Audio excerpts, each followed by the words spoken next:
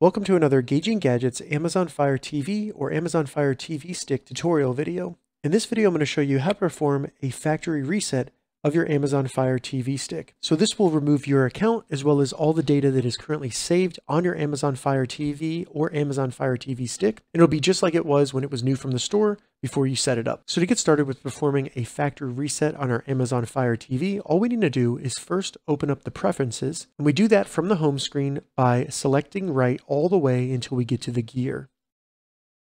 Once you get to the gear, scroll down and we just want to go down and select My Fire TV using the center button on your remote control. So select that. Then in here, scroll all the way down to the bottom where it says Reset to Factory Defaults. Select that. And we want to just confirm that we want to reset it. Keep in mind, it does say that it will reset it to the factory settings and that all of your sign-in information and your personal preferences that are on the Fire TV will be lost. So if you're fine with that, select Reset.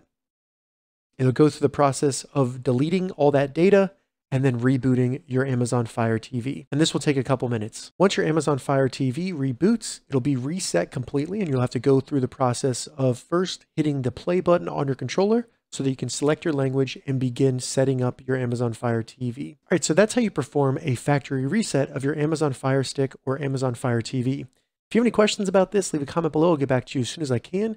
If you'd like to see more Amazon Fire TV or Amazon Fire Stick tutorial videos, check the links in the description. If this video helped you, give it a thumbs up, and please consider subscribing to my channel, Gauging Gadgets, for more gadget reviews and tech tutorials. Thank you so much for watching.